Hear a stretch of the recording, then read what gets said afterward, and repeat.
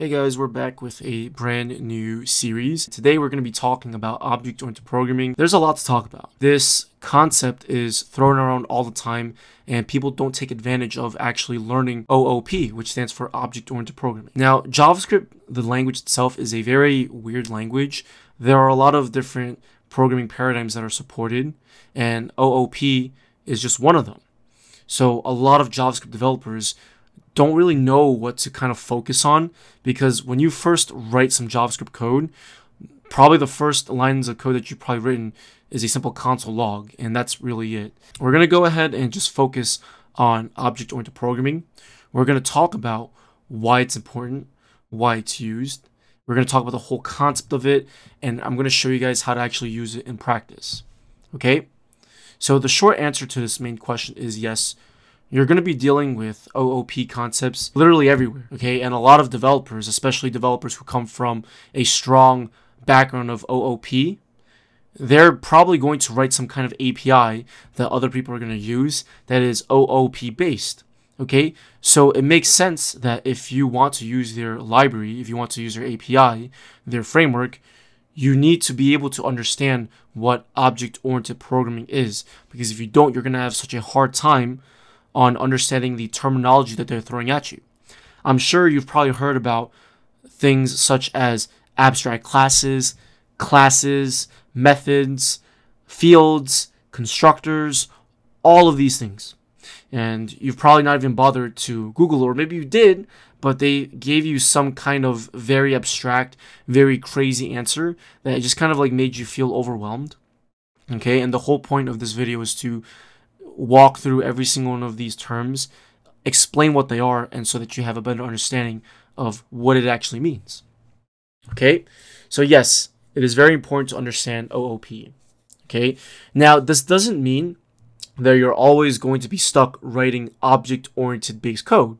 This just means that it's going to enable you to follow a new pattern, to follow a new paradigm of programming. It gives you more opportunities to solve certain problems by taking a different approach. And it also enables you to have a better understanding of object oriented concepts so that when, again, like I said, if you were to use someone else's code, you would understand their documentation. You would understand what their code is doing because you understand object oriented programming. I'm not saying that you'll understand the entire code base. I'm just saying that you'll have a better understanding of what the concepts are and what they mean. All right, so we're going to be talking a lot in this whole course. My main goal is to cover as much as I can, as well as making sure that you guys have a lot of information. Just walking out of this video, you're going to have much more confidence in terms of object-oriented programming, understanding what objects, classes, aggregation and composition, inheritance, abstraction, encapsulation, polymorphism, you're going to be having a better understanding of all of these topics. Okay, these are primarily the main topics that are focused on in object-oriented programming. There are other concepts, but we're not going to focus on them because JavaScript itself doesn't have those concepts, and we would need another language like Java or TypeScript to really fully take advantage of object-oriented programming.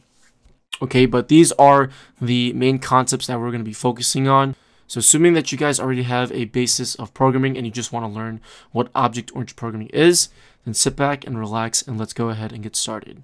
Okay, so before we even get started on just talking about the topics that I mentioned in the table of contents, let's actually start talking about what really object-oriented programming is. Okay, so now the main idea of OOP is to conceptually take the idea of real-life objects and transform them into code. So for example, you're probably watching this on a computer, a mobile phone, a tablet, or even a smart fridge. We can think of all of these things as objects in real life, and we can represent these objects in code. So, for example, I can represent a computer, which is, you know, a real life object, as an object in code in JavaScript. Okay, same thing with a mobile phone, a tablet, or even a smart fridge. So before we even move forward, I want you guys to start thinking about, you know, all the objects that you see like around you. For example, if you look to your right, you probably, you know, can see your bed or your desk or a lamp or just something, maybe even clothes, just anything, right? Think about how you would represent that object in code. You would say to yourself, hey, well, you know, what can I actually think about that object that can translate into code? And that's what we're going to be talking about. Okay, so objects in code, likewise in real life, they share something in common. They have properties. For example, if you're dealing with a user object, they have a name, an email address, an age, the date that they joined, whether or not they're verified, a whole bunch of properties. Likewise, in real life, if we look at a desk, a desk has certain properties. A desk has a color, has a height, it has a width, a depth, it has a weight, it has so many different things. Is that desk a sit and stand, right? There are so many different properties that we can think about in terms of our real life objects as well as objects in programming, okay? And they're pretty much like characteristics in a sense. So, like I said before, we can think of our computer object has many different characteristics, such as a color, a weight, a height, width, depth, number of USB ports, etc. So let's actually take a look at how this looks like in code. Okay, so we have a simple computer.js file. You can either execute this in your browser or using Node.js in your terminal. It Doesn't really matter. It's going to work just fine. But what I'm going to do is I'm going to show you guys how to create a very simple object. We're actually going to create a JSON object. Okay, so we're going to do const. We're going to declare a variable called computer, and we're going to assign it an object. Okay, so this is basically an object literal. Okay, we have opening curly brace and a closing curly brace, and we can start giving this object properties, right? So before we even do anything else, if I were to just console log this computer variable to the console, and let me open up a terminal in my Visual Studio Code, I can execute this file by using the node command, computer.js. And you can see we have an empty object. Okay, let's actually give it the properties that we described earlier in the slide. So a computer can have a height, and we can give this, you know, a value such as 15. This would be a numeric value that we're assigning to height. Same thing with width. We can give the width of maybe 10. We can also give it a depth. So we can say the depth is probably uh, maybe 15 as well. And we can give it a color. I'll just say a string, white, and so on. So if I were to log this to the console, you can see that we have an object. Okay, we have a height, width, depth, color. Cool. So this is the most basic object that we can ever create. But I just want you guys to understand that this is what an object looks like. It has properties. Okay, and not only does an object have properties, but an object can also have methods. Okay, now obviously you've probably heard about functions before. If we wanted to declare a function, we would use the function keyword and we would just call the function whatever we want. We give it a name such as get height. And then we would do something with this function. We would either log something to the console, we would return a value, we would add two numbers, return it back, a whole bunch of things. Okay, but objects can also have methods. Now, methods and functions are pretty much the same concept, the same thing. The only difference is that when an object has a function, you call it a method. Okay, so don't worry so much about the terminology between a method and a function. They're really just the same thing. Okay, you can call it a method or a function. I sometimes call it a function by accident, but really they're methods. So don't worry so much about it. But if you're really antsy about the terminology, just know that methods are used in the context of it belonging to an object. And when you refer to functions, they're just their own independent entity. Okay, so let's give our computer a method, and we can give our computer certain methods because we can think, hey, look, objects don't just have properties, they don't just have fields or characteristics, they also have functionalities. Kind of like, you know, if we were to think about a human object or an animal object, they too have functionalities. Animals can, you know, if, if we're talking about a dog, a dog can bark, it can walk, it can run, it can fetch, it can do a whole bunch of things right? A computer, what kind of functionalities does a computer have? Well, a computer can turn on, right? So we can create a function called turn on power, and then we can assign this property, right? This property, a value of a function, and we can go ahead and say console log turning on the computer. And if I wanted to call this function, we would do so by referencing the object, and we would reference the function, and invoke it with parentheses. You would see that we are calling computer.turnOnPower. We're calling a method on the computer object. Okay, remember, we're not calling this a function anymore. We're calling a method because it belongs to the computer object. We're calling that method, and we're just console logging a message to a console. Okay, now here's the thing. We can also do other things too. Let's say, for example, when we turn on the computer, we want to set some kind of field. Now, what if we wanted to check to see if the computer was actually on? And you can probably think, well, a computer has some kind of state, right? We can tell if the computer is on or off. We can declare a property called is on, and we can set this property to false by default. So when we call the turn on power function, we can set is on to true. We can also check to see if the computer is already on. So we can, before we do anything else, we can go ahead and say if this dot is on, we're going to go ahead and just say the computer is already on. Now else, if the computer is not on, we're going to go ahead and just turn the computer on. So to do that, we're going to go ahead and reference this dot is on, and we're going to set this to true.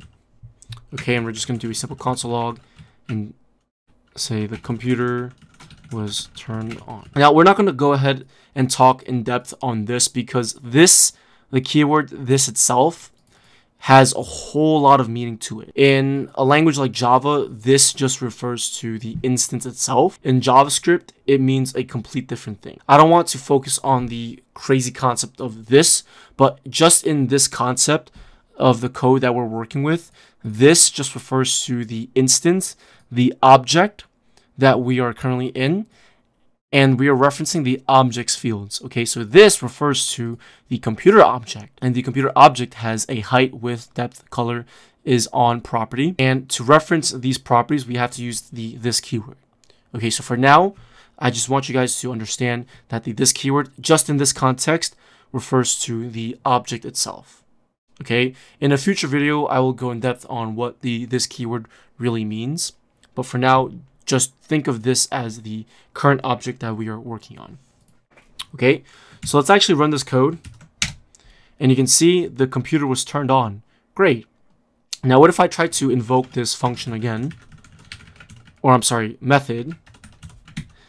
And if I were to run this code again, you can see that on line 19, we are calling the turn on power method on the computer object. And we're checking the field right, the computer's property is on, we're checking to see if the computer's already on. We can see that the computer is not on, so we set this dot is on equals to true. We set the state of our computers is on field to true, and we're saying, hey, look, the computer was turned on.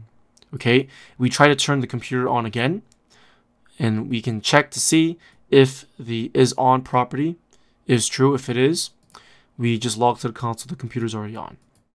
And we can also be very creative too, right? This is the beauty of object-oriented programming, and I hope you guys are starting to really see the whole point of object-oriented programming. We're not fully done yet, but this is just the beginning.